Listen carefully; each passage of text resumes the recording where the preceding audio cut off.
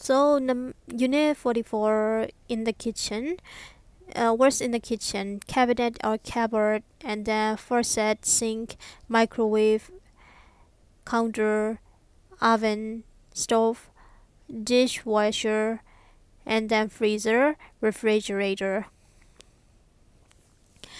And things you uh, you use in the kitchen is dish washing liquid, and then dish towel, frying pan, pot, teapot, coffee maker, and paper towels.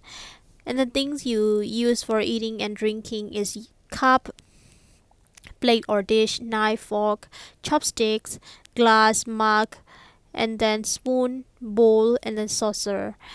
Letter D questions in the kitchen is where can I find a mug, a dish towel, sandpaper towels? Can I help can I help with the dishes or can I help with the cooking? And then where does this cup what where does this dish or where does this frying pan go? And then where do you keep it? သူရဲ့ meaning ကဘယ်မှာသိမ်းမလဲဆို where do you keep it ဘယ်မှာသိမ်းလဲဆိုရင်မေးတယ် and then where should I put this cup the sugar where should I put ဘယ်မှာထားရမလဲ and then where can I find ဘယ်မှာ share ရမလဲ can I help you ကူညီပေးရမလား so like that kind of stuff